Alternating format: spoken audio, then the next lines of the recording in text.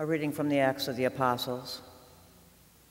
After much debate had taken place, Peter got up and said to the apostles and the presbyters, My brothers, you are well aware that from early days God made his choice among you, that through my mouth the Gentiles would hear the word of the gospel and believe. And God, who knows the heart, bore witness by granting them the Holy Spirit, just as he did us. He made no distinction between us and them, for by faith he purified their hearts. Why then are you now putting God to the test by placing on the shoulders of the disciples a yoke that neither our ancestors nor we were able to bear? On the contrary, we believe that we are saved through the grace of the Lord Jesus in the same way as they. The whole assembly fell silent and they listened while Paul and Barnabas described the signs and wonders God had worked among the Gentiles through them. After they had fallen silent, James responded, My brothers, listen to me. Simeon has described how God first concerned himself with acquiring from among the Gentiles a people for his name. The words of the prophets agree with this, as it is written, after this I shall return and rebuild the fallen hut of David. From its ruins I shall rebuild it and raise it up again, so that the rest of humanity may seek out the Lord, even all the Gentiles on whom my name is invoked. Thus says the Lord who accomplishes these things known from of old. It is my judgment, therefore, that we ought to stop troubling the Gentiles who turn to God but tell them by letter to avoid pollution from idols, unlawful marriage, the meat of strangled animals, and blood. For Moses, for generations now, has had those who proclaim him in every town, as he has been read in the synagogue every Sabbath. The word of the Lord.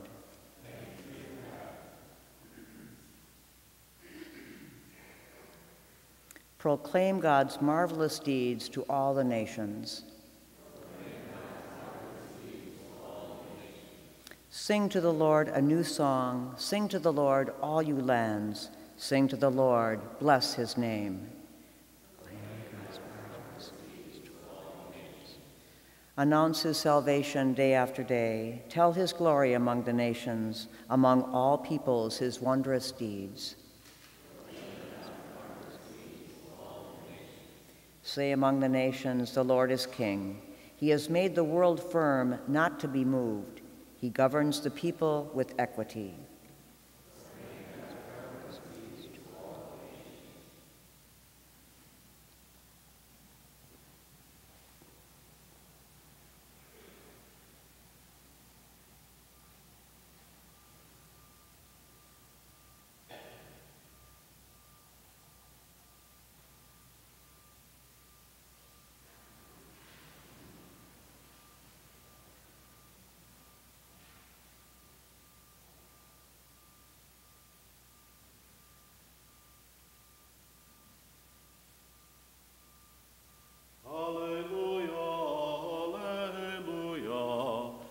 Alleluia.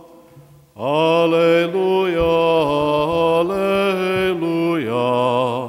Alleluia. My sheep hear my voice, says the Lord. I know them and they follow me.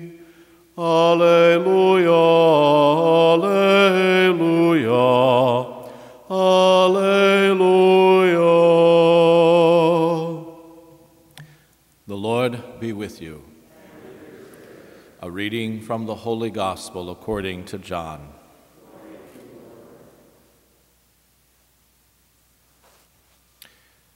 Jesus said to his disciples, As the Father loves me, so I also love you. Remain in my love.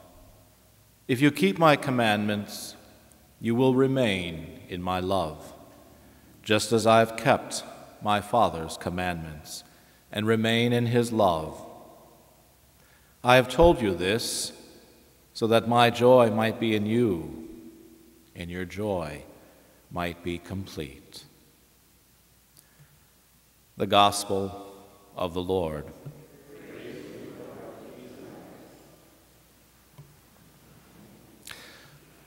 As we continue our Easter journey through the Acts of the Apostles, we, we saw yesterday, and today it comes to a head, so to speak, is the first great problem or controversy the infant church met amongst within itself, which really threatened to disunify and split it apart. And the whole problem was the attitude towards the law now, as we well know, to the Jews in Jesus' day, and obviously before him, the law was very important the Torah, the law books of Moses. And then, of course, through the centuries of the Old Testament, more additions were added onto that law. The Jews, as they journeyed through that Old Testament, saw that the law was what they had to cling to it ensured their survival because over and over again they saw the pattern, and when they deviated from the law, they, they strayed away from God, and all sorts of horrible things happened to them. But like typical human beings, ourselves certainly not accepted, we always seem to go to extremes. We either go away one way or we go away one other way. We either cling to something with such great tenacity that we strangle it, the letter of the law, so to speak, or we simply turn our backs on it and ignore it. Why is it that we can't have that happy middle ground? We're just not good at that as human beings. It's one of the effects of original sin, I suppose, the weakness of our human nature that we're still struggling with. In the early church, then, of course, there was really two camps. There were the early Christians who were first Jews, particularly those in Jerusalem and in the Holy Land there, and many of the Greek speaking Jews as well. And then, of course, through St. Paul's endeavors and his missionary trips, many, many Gentiles were now also flowing into the church, were being baptized and receiving the Holy Spirit. But some of the more staunch, rigid, conservative Jewish Christians, particularly those who were Pharisees, as the gospel tells us today, were insisting that these Gentiles, these outsiders, these non Jews, that they must be circumcised and that they must too follow the law of Moses, the letter of the law.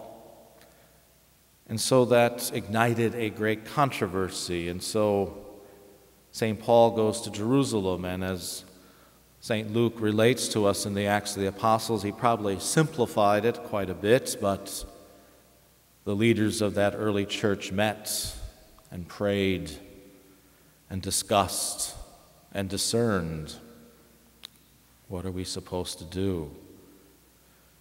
And those early leaders of the church, Peter and James, who was the bishop of Jerusalem, after much discussion, came to a decision, a compromise, remembering that it is mercy that God desires, not sacrifice. Sacrifice meaning that rigidity of just performing something because that's what we're supposed to do, but rather go to the very heart. And what is the heart of the law? Jesus, who said, I've come not to abolish the law, but to fulfill it. Jesus himself, who broke the rigidity of the Sabbath when he cured or plucked grain in the fields. And the heart of the law is what the gospel is today love. The love of God and the love that we must show one another. What is the two great commandments? Love God with all your heart, with all your soul, with all your strength, and love your neighbor as yourself. And so that rigidity of the law was lifted from the Gentiles. Most scholars say if they had swung the decision the other way, we wouldn't be sitting here today. The church would never have been able to sustain itself without the Gentiles because they soon became the vast majority of the church as it grew throughout the world. We too must always examine our attitudes as well. We need the law, yes, it's the structure. But what we must always remind ourselves is that the law cannot save us. It's there simply to guide and to help direct, but it must always have be, its underpinning must always be love. Love. Why are we here today? Out of obligation to the law? Probably not. We're here today because we love. We love one another, and most of all, we love God.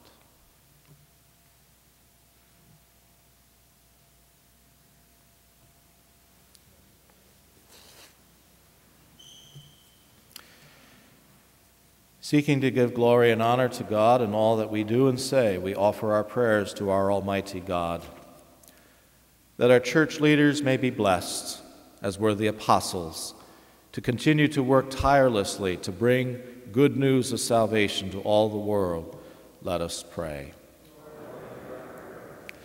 That the people of the world may put aside their differences and, inspired by the Holy Spirit, work toward a lasting peace with one another let us pray. That those who are denied the freedom to practice their religion openly may be given the strength to persevere in faith, let us pray. That all who believe in Jesus may work toward unity with one another, treating each other with love, dignity, and respect. Let us pray. We pray for all who have died especially in this Mass this morning, we remember the soul of Aaron Werner, and we also remember the priest of our diocese who died on this day, Father John A. Holschnecht in 1927, and Father Daniel C. Gilsdorf in 2012. And we pray for all our loved ones, that they may come to share now in the fullness of Easter joy in heaven. Let us pray. Father, all creation, in its radiance and beauty, gives you glory. Hear and answer these many prayers offered to you this day. We ask all this through Jesus Christ our Lord. Amen.